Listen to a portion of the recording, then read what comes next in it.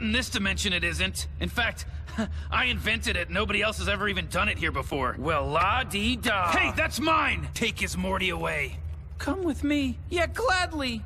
Jeez, man. Ricks, huh? Hey, man, you seem to know how this place works. Is there any way we could shut down that grid and rescue all those Mortys outside? It would be pointless. Mortys have no chance of defeating a Rick. In here.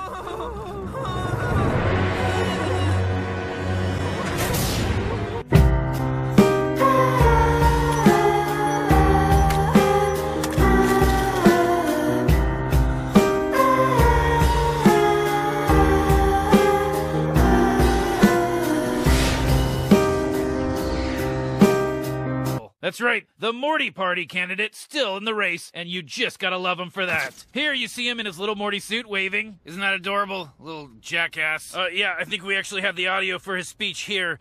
Oh, geez, oh man, I'm gonna lose the election and stuff. We had a good run, sir, but I think it's time to pull out of the race. I feel pretty confident about tonight's debate. You shouldn't, sir. You should be terrified. Maybe you should find a little faith, young man. You don't pay me to have faith. And we're the same age. I don't see a divide between Ricks and Mortys. You guys finished? The division I see is between the Ricks and Mortys that like the Citadel divided and the rest of us. I see it everywhere I go. I see it in our schools. Citadel's problem isn't homeless Mortys or outraged Ricks that believe in this Citadel to the. You're outnumbered. I don't believe it. I, I can't believe it. I know. That's why you're fired. An unexpected turn of events as Morty from the Morty Party soars to the top of the polls. Morty, Morty, Morty, Morty, Rick tonight. Yes. Gosh, we moved around so much it's hard to remember. I see every Rick as my Rick. Hey there, how you doing? Great to meet you. I'm a plumber, sir. I'm a Rick and I'm a plumber. That doesn't sound like Rick work. You didn't come to the Citadel to be a plumber, did you? I sure didn't, sir. Mr. Morty, Mr. Morty, I cloned myself so you could kiss me as a baby. this is just like a Morty baby. Hey, did you uh, end up getting a new job? Yeah, I did. Assassinating you. Oh! Okay, I'm okay. I'm.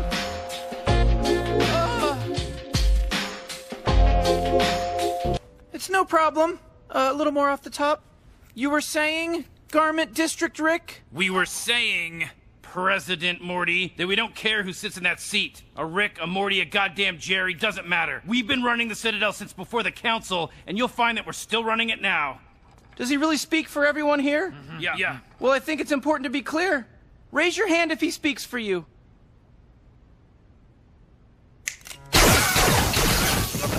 Is that enough off the top? Don't know. Is it? Yes, yes, I- I goddamn, think yes. it's great. Good. This seems like a good time for a drink and a cold, calculated speech with sinister overtones. A speech about politics, but speeches are for campaigning. Now is the time for action.